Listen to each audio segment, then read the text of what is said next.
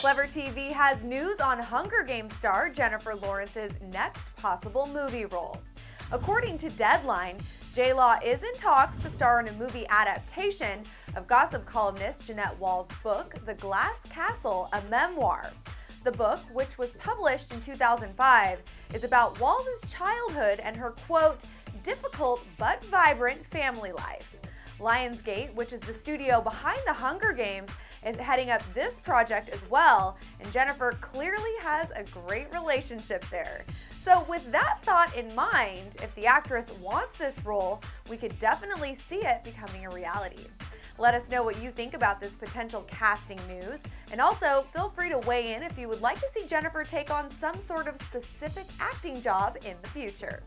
For updates on this story and additional breaking entertainment news, stick with Clevver TV by subscribing to our channel on YouTube. I'm Joslyn Davis, and we'll see you next time.